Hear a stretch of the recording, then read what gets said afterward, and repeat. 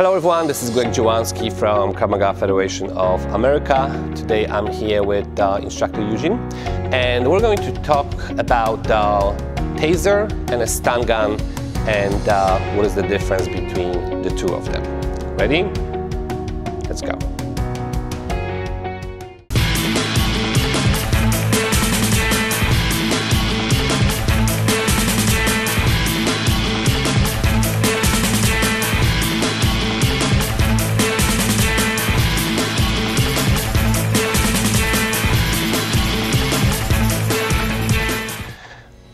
Okay, so um, what's the difference between a taser and a stun gun? Basically, the stun gun works as a pain compliance tool. So we have this flashlight that it can be used as a regular flashlight, but also it's a stun gun.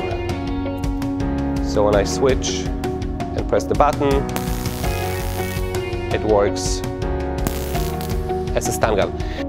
With this, I have to touch and uh, press the button and it's gonna be only pain compliance. As, as soon as I let go, he's ready to fight again, okay? The difference between this and uh, taser, so this is a taser pulse.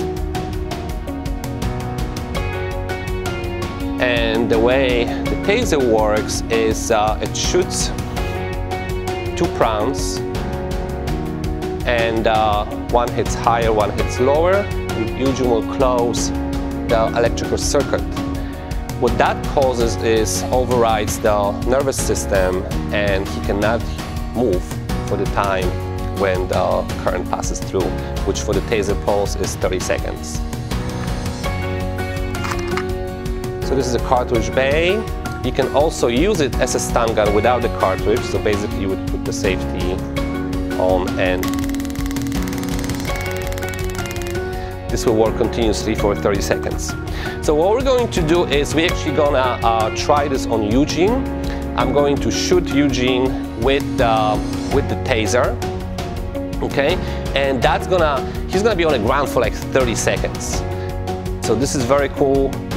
You get to see how it works it's painful, but he's willing to do it, okay? So we'll see you in a second.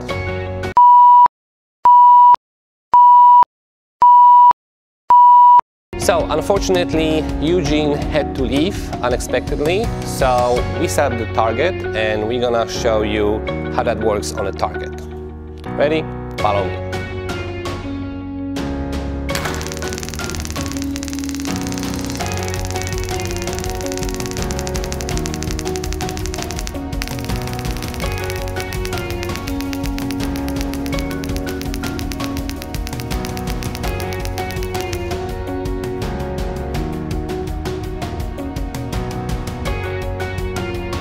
Okay, so that's how taser pulse work. When the cartridge is uh, deployed, you're gonna see a lot of these confetti coming out. They actually have a serial number on them. So um, if you use it for illegal purpose, they'll be able to punch you by the serial number.